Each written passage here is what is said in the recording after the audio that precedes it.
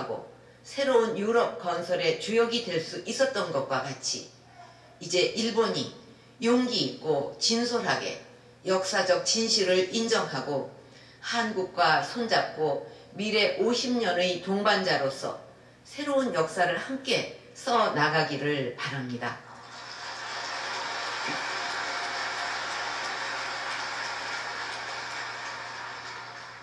존경하는 국민 여러분과 재외 동포 여러분, 그리고 북한 동포 여러분, 우리 민족은 70년 전 오랜 항일 투쟁의 결과로 되찾은 독립의 기쁨을 채 누리기도 전에 남과 북으로 갈라져 동족 상잔의 비극을 겪고 분단 국가로서 지금까지 군사적 대치와 긴장을 이어오고 있습니다.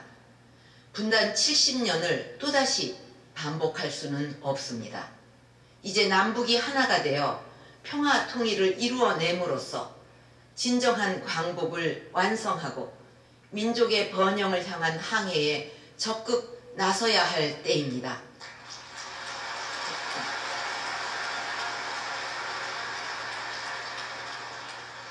정부는 통일이 꿈이 아니라 함께 만들어가는 미래이며 미래는 내일이 아니라 오늘부터 시작된다는 믿음으로 실질적인 평화통일 기반을 구축해 가고 있습니다.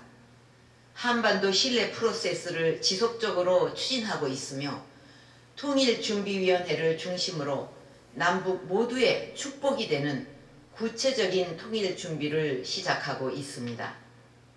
우리가 추진하고 있는 통일 준비는 결코 북한을, 북한을 고립시키는데 목표가 있는 것이 아닙니다. 북한이 국제사회에 책임 있는 일원으로 나와서 공동 번영과 평화의 길로 가도록 하는 데 있습니다. 북한은 더 이상 남북 대화를 외면해서는 안 될 것입니다. 진정성 있는 대화와 변화의 길로 들어선다면 모든 협력의 길이 열려 있다는 것을 거듭 강조합니다.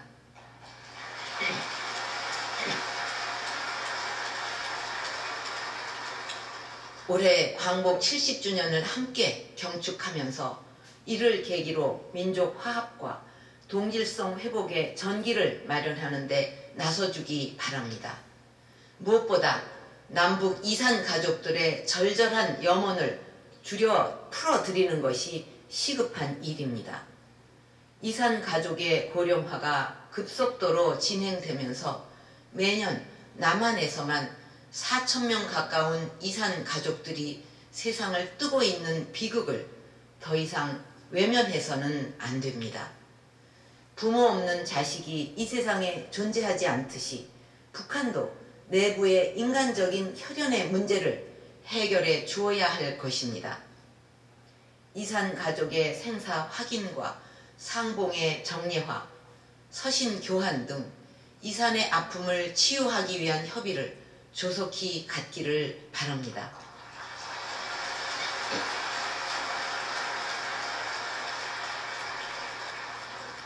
또한 금년 중에 남북한 간 의미 있는 스포츠, 문화, 예술 분야, 분야 교류와 민생 차원의 협력을 확대해 나가기를 기대합니다.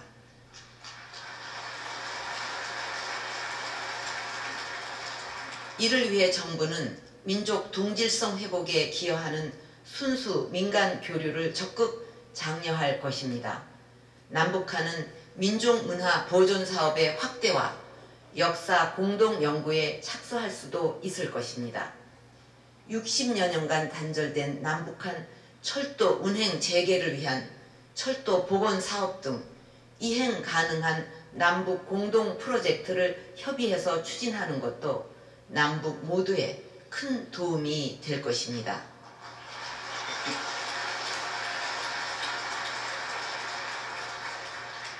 우리 정부는 사전 준비의 일환으로 우선 남북철도의 남측 구간을 하나씩 복구하고 연결하는 사업부터 시작할 것입니다.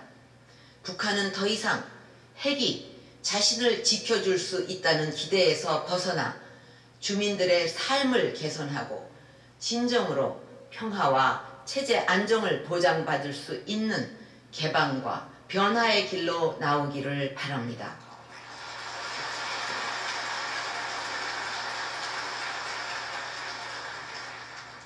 존경하는 국민 여러분, 역사는 길을 만드는 것과 같다고 합니다.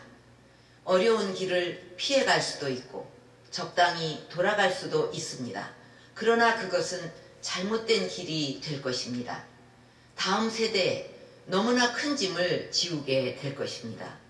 국가 부채는 늘어나고 경제는 휘청거리게 될 것이 자명합니다. 당장은 어렵더라도 대한민국을 위한 길을 가겠습니다.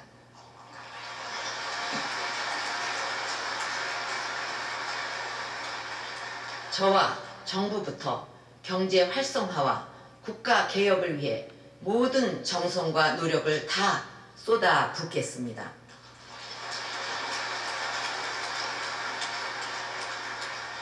삼일 운동 당시 모두가 혼연일체가 되어 역량을 결집했듯이 국민 여러분께서도 하나된 마음으로 동참해 주십시오.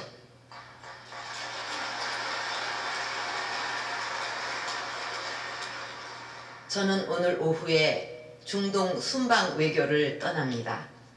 우리가 1970년대 중동 건설 붐으로 세계 석유 파동을 극복하고 한강의 기적을 이루는 토대를 마련했듯이 제2의 중동 붐으로 제2의 경제 부흥을 위한 토대를 마련할 수 있도록 총력을 다해 비즈니스 외교를 펼칠 것입니다.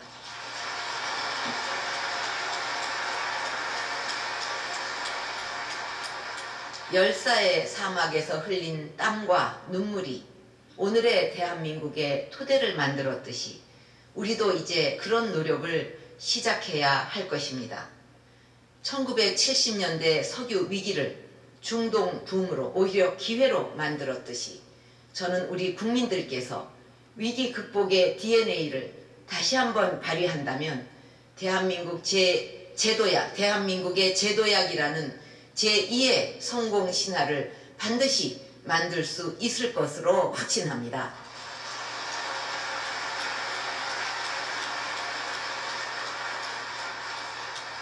우리가 지금 걸어가는 이 길이 미래 대한민국을 위한 희망의 새 길임을 확신하며 국민 여러분과 함께 나아가겠습니다.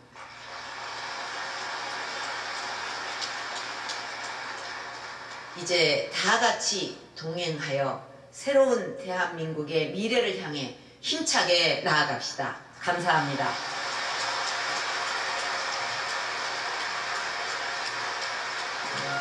네, 3.1대 기념사 감사합니다.